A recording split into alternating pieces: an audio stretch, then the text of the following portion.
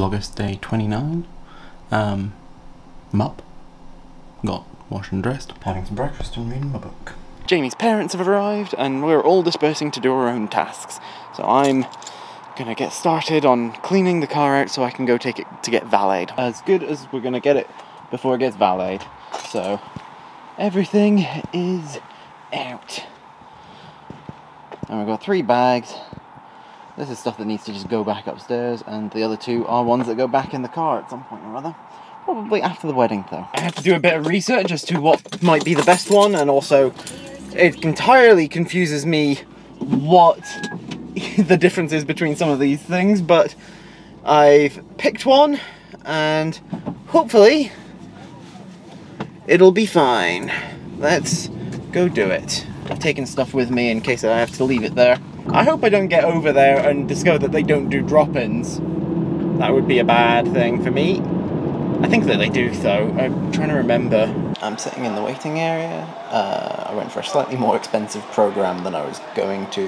I finished my book. I was going to go hang out in Martian's Cafe, maybe get some lunch, but um, the closed for the refurbishing that's going on in there. The actual shop isn't closed, but the cafe is, and many of their other ancillary stuff.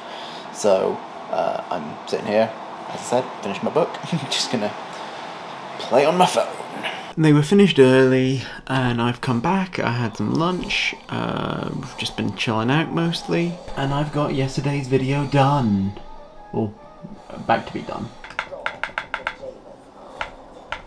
We kind of keep finding ourselves at a bit of a loose end. Like, we've done everything, but there's still stuff to do, but we can't do it for now.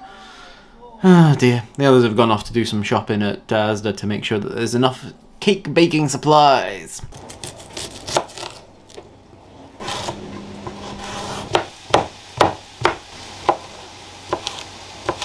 And then my sister showed up as I was serving up dinner, so we hung out with her for a while and with Zoe, and then I've uh, not done much since. I'm going to try and get this video edited before I go to bed. I hope that you enjoyed this video and that you remember to like and share it and subscribe to my channel. Click on the thumbnails over there to see other videos by me, click on the link in the description down below to join my Discord, and I'll see you guys tomorrow for the next day of Vlogust.